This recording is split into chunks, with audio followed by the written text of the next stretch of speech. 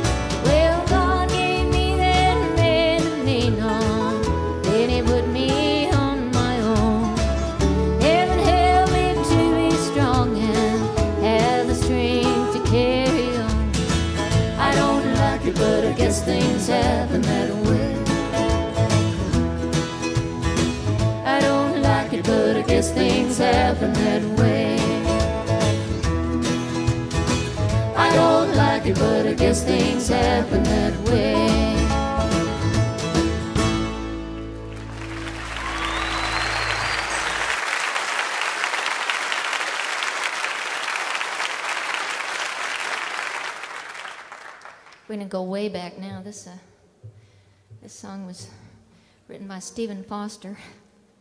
We decided to start this with a, with a triad, the boys, and then we added a fourth voice, so we called it a crawdad.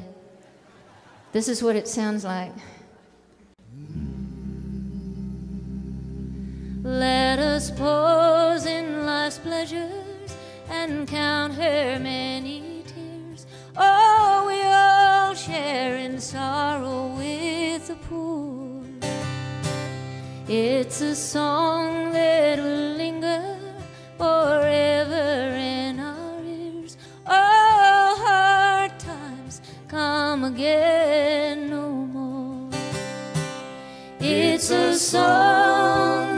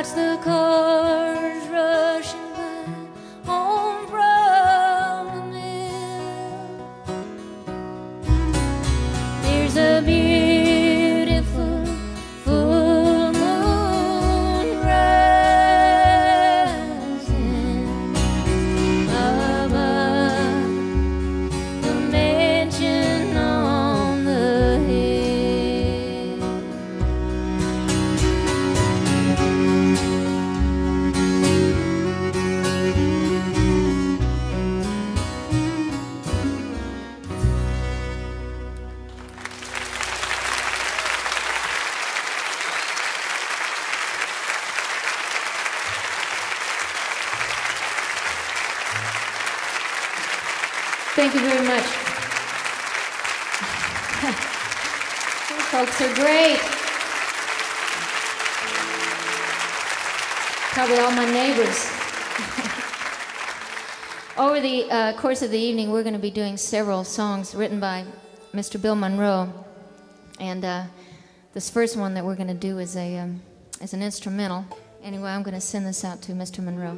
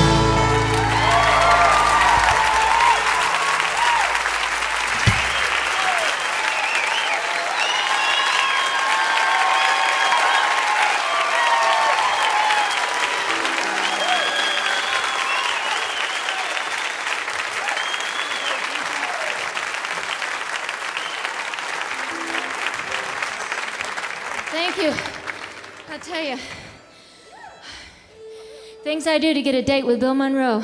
I had to tell him I was going to dance on his song. So, and I did.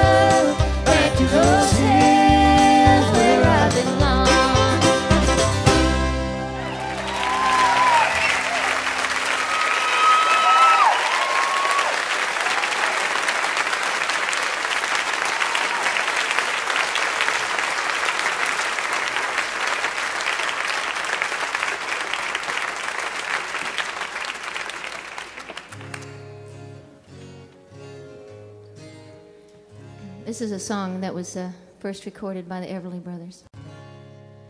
Like strangers, that's what we are, darling.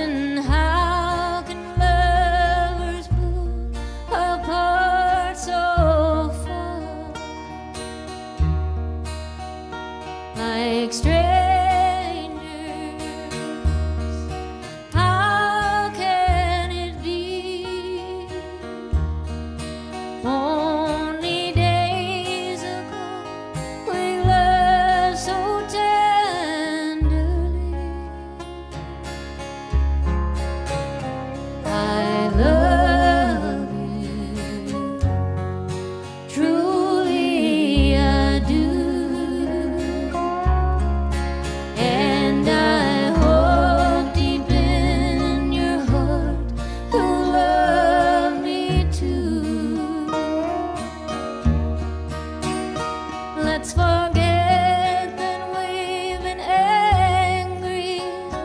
Let's be lovers like before and swear.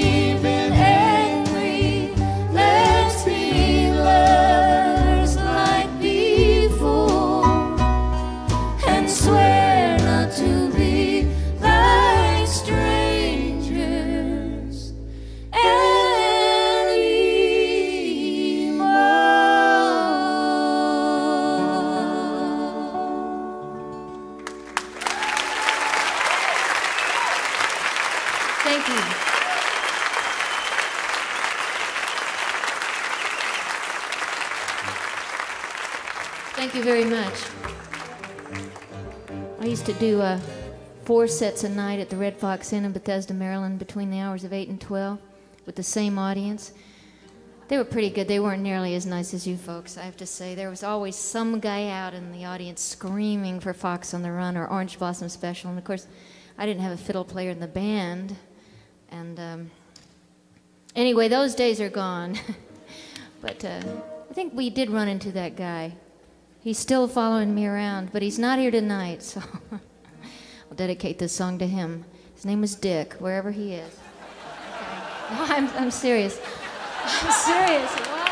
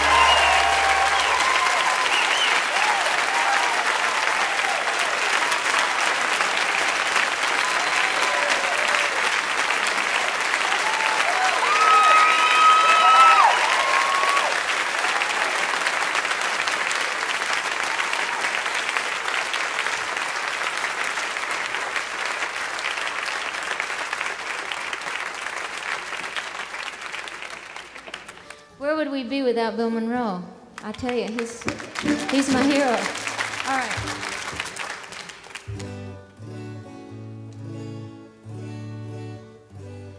Yes, Mr. Monroe was in the room when they were putting the makeup on the boys, putting makeup on Sam.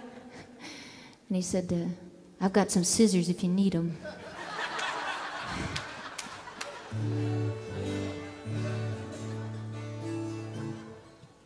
Has anybody checked out the? Well, the gift shop's closed. I want to say that the, I checked out the best items is a Minnie Pearl fan, and it's a life-size picture of Minnie's face, and uh, it has the the price tag is the same as the price tag on her hat. It's kind of ingenious. I, well, I liked it. I bought one. It's in a place of honor in my music room, and it works too. You know. We're going to do sort of a medley here.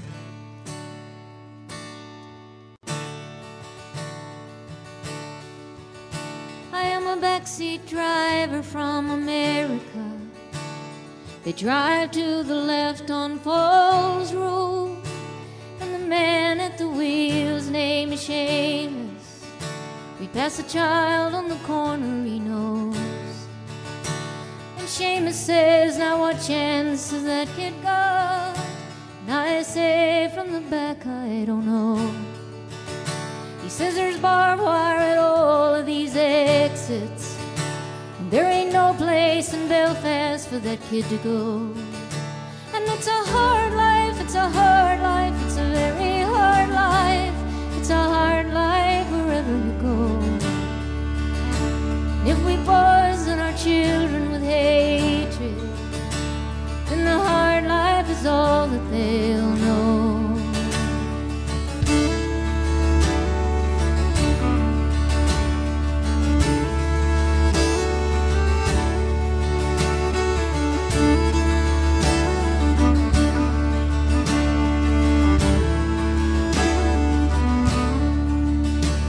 Cafeteria line in Chicago. A fat man in calling black people trash to his children. And he's the only trash here I see. And I am thinking this man wears a white hood in the night when his children should sleep. But they'll slip to their windows and they'll see him. And they'll think that white hood's all they need.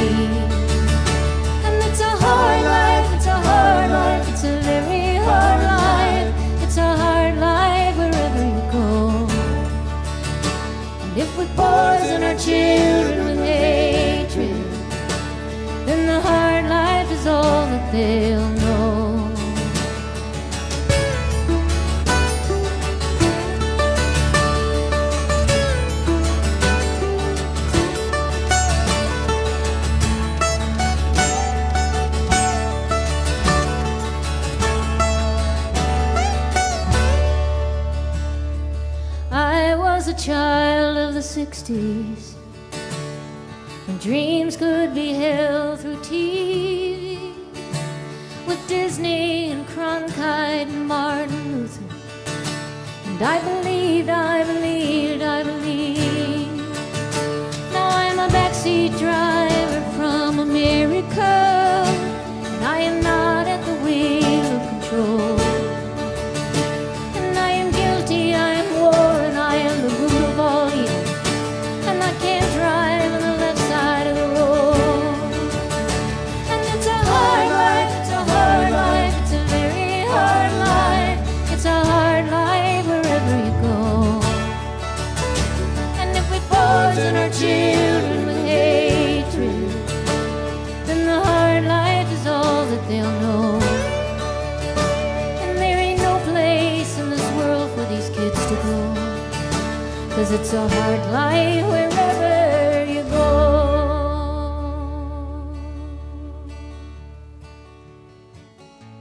Has anybody here seen my old friend Abraham? Can you tell?